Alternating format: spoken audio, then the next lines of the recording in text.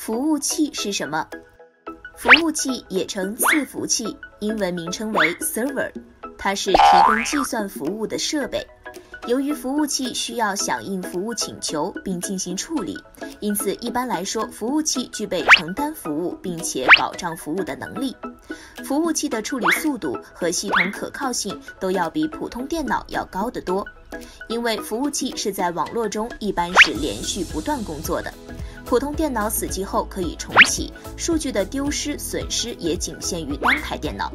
服务器则完全不同，许多重要的数据都保存在服务器上，许多网络服务都在服务器上运行。一旦服务器发生故障，将会丢失大量的数据，造成的损失是难以估计的。而且，服务器提供的功能如代理上网、安全验证、电子邮件服务等都将失效。从而造成网络的瘫痪，所以服务器比普通电脑的作用和意义大很多。